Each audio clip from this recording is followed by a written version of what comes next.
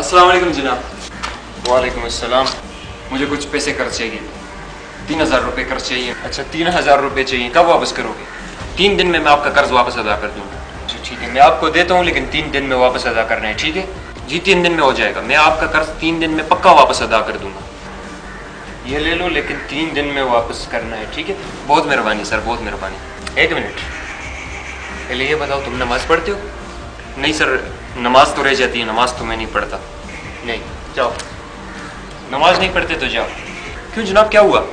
میری میری نماز کا قرض پیسوں سے کیا تعلق ہے میں تین دن میں آپ کا قرض پکا واپس ادا کر دوں گا میرے بھائی